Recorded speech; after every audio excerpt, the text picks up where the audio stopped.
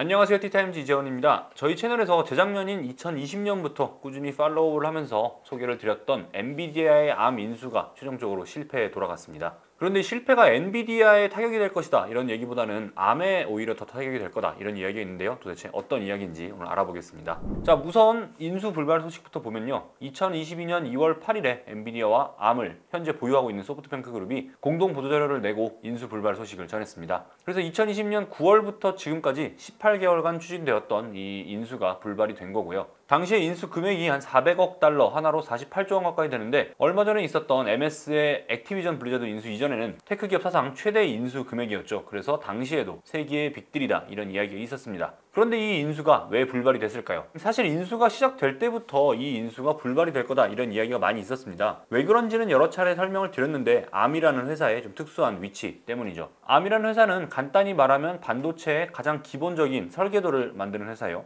이 설계도를 바탕으로 반도체 회사들이 각자의 입맛에 맞는 반도체를 만드는 그런 구조입니다. 어, 이런 반도체 설계를 위한 원천 기술을 판매하는 회사 이렇게 생각을 하시면 될 것 같고 이런 반도체 설계도를 파는 회사가 몇 군데 있는데 인텔과 암이 대표적입니다. 둘의 차이는 인텔은 전력을 많이 쓰는 대신에 연산 속도가 빠른 반도체에 특화된 설계도를 팔아요.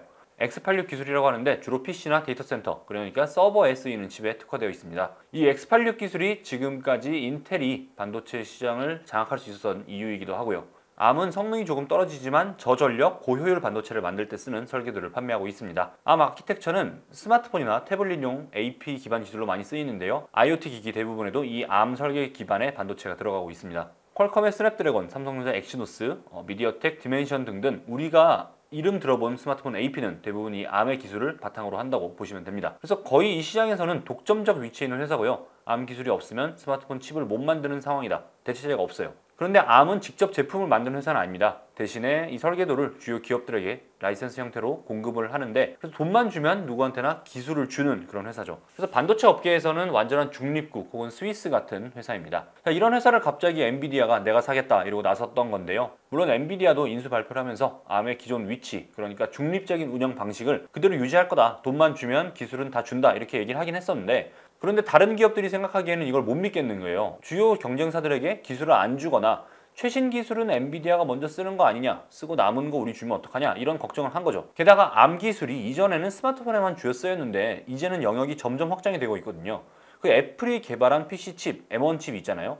이건 역시 PC용 칩인데 암 기술로 만들어진 겁니다. 그래서 미국, 유럽연합, 중국, 영국 등등 뭐 주요 국가의 규제 당국에서 인수를 불허할 거다 이런 이야기가 많이 있었고 작년 말부터 슬슬 각국에서 부정적인 의견을 내기 시작하더니 결국에 이렇게 인수가 무산이 됐습니다. 또 이 과정에서 마이크로소프트, 퀄컴, 뭐 구글, 삼성전자, 테슬라 같은 테크 기업들이 미국 규제 당국에 반대 의견을 전달했다 이런 보도도 많이 나왔고요. 자 그럼 엔비디아 이번 인수 결렬로 속이 좀 많이 쓰릴 것 같은데 어떤 타격을 입었을까요? 크게 기술적인 문제와 금전적인 문제가 있을 겁니다.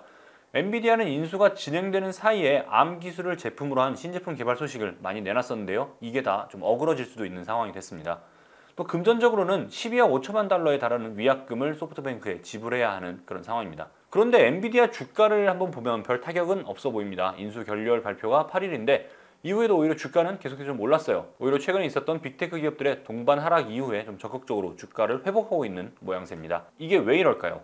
엔비디아 입장에서는 그렇게 큰 타격이 아니라는 얘기겠죠. 자, 먼저 기술적인 면을 다시 볼게요. 엔비디아가 암 인수를 가정하고 발표했던 신제품 개발 중에서 대표적인 것이 서버용 CPU인 그레이스입니다. 2021년 4월에 개발 소식 공개를 했고요. 2023년에 출시할 것이라고 예고를 했습니다. 그러니까 엔비디아가 서버용 GPU 시장은 지금 장악을 다 했으니까 인텔이 거의 100% 점유하고 있는 서버용 CPU 시장까지 내가 다 가져가 보겠다 이런 것이었죠.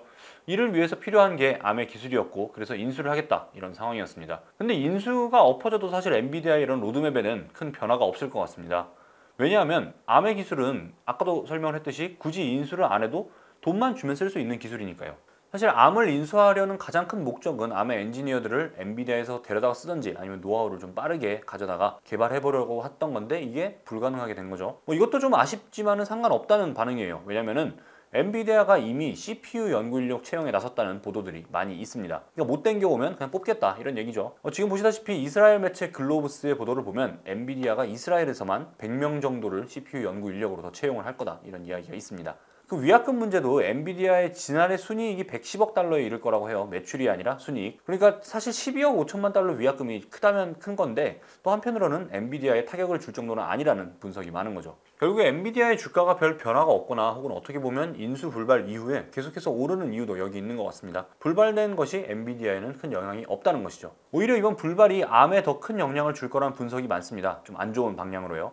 특히 반도체 기술 발전에 있어서 부정적인 영향을 줄 수 있다 이런 분석이 있는데 자세히 한번 또 보겠습니다. 우선 암은 내년에 IPO를 준비할 것으로 보입니다. 증시에 상장한다는 얘기죠. 소프트뱅크는 당장 내년 3월을 목표로 암 상장을 준비한다고 하는데 원래 2016년에 소프트뱅크가 인수를 하면서 상장 폐지를 했던 기업인데 다시 상장을 한다는 얘기예요. 이 소프트뱅크가 왜 이렇게 급하게 그러냐면 자금 조달이 필요해서 그렇습니다. 애초에 암이 매물로 나온 것 자체가 소프트뱅크의 자금 조달 때문이에요. 사실 최근에 소프트뱅크가 여기저기서 손실을 많이 봤는데 암 매각으로 꽤 큰 돈을 챙길 수 있었던 상황에서 이게 없던 일이 된 거죠. 그래서 상장을 통해서라도 투자금을 회수하겠다 이런 겁니다. 이를 위해서 CEO도 교체를 했는데요. 인수 결렬 발표와 동시에 이전까지 9년간 CEO로 재직했던 사이먼 세가스가 사퇴하고 르네 하스 암 IP 부문 대표가 새 CEO로 임명이 됐습니다. 당연히 이분의 미션은 IPO죠. 그런데 기업 공개를 통해서 조달할 수 있는 자금이 생각보다는 얼마 되지 않을 것이라는 전망이 많아요. 구체적인 숫자가 나온 건 아니지만 엔비디아가 지불할 금액에 비해서는 확실히 적다는 거죠. 또 다른 문제는 어디에 상장할지도 있습니다. 어, 파이낸셜 타임스의 보도를 보시면 소프트뱅크 입장에서는 최대한 많은 돈을 조달해야 하니까 미국 뉴욕 증권거래소 상장을 원하고 있는데요. 영국 정부가 런던 증시 상장을 원할 가능성이 높아서 이 과정 역시 순탄치 않을 것이라는 얘기가 있습니다. 투자금 회수를 해야 하는 소프트뱅크 입장에서는 더 많은 관심과 돈이 몰리는 뉴욕 증시를 원할 텐데요. 아무튼 좀 곤란한 상황이죠. 암의 기술을 이용하는 다른 빅테크 기업들이야 뭐 이번 인수 불발로 리스크를 제거할 수 있었겠지만 암 입장에서는 썩 좋지 않은 일이라는 분석도 많이 있습니다. 물론 이것도 돈 때문이에요. 어쩌면 테크놀로지 기업으로서 암에게는 이번 인수가 꽤 큰 기회였거든요. 이번에 소프트뱅크가 공개한 자료를 보면 암의 최근 매출이 2019년 19억 8천만 달러, 2021년 25억 달러 수준인데요. 반도체 업계에서는 신제품 하나 설계하는데 5억 달러 정도가 든다고 하니까 암이 기술 개발에 올인하기에는 이 매출이 그리 넉넉한 금액이 아니다 이거죠. 그래서 엔비디아의 인수가 되고 엔비디아의 기술력과 자금 지원을 빵빵하게 받는 것이 오히려 암이 자기 기술을 발전시키는 데는 조금 더 도움이 된다.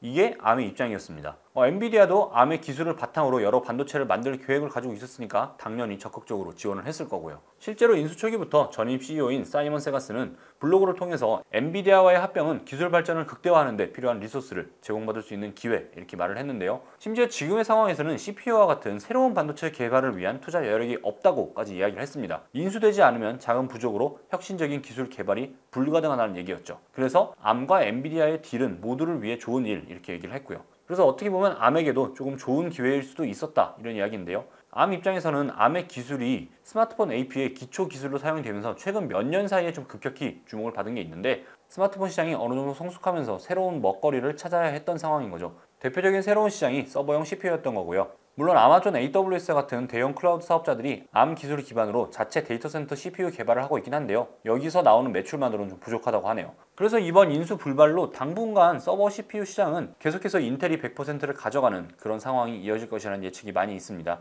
PC CPU 역시 암 기술을 바탕으로 몇몇 칩이 개발되고는 있지만 암 설계 기술 자체의 혁신을 기대하기는 조금 힘든 상황이 되었고요. 그래서 이번 인수 불발을 두고 몇몇 빅테크 기업들과 국가들의 견제로 tech 산업 전반에 영향을 미칠 수 있는 기술 혁신이 늦어진다는 아쉬운 목소리도 있는데요. 이 부분은 아직 가보지 않은 길이기 때문에 뭐 쉽게 이야기할 수는 없을 것 같고요.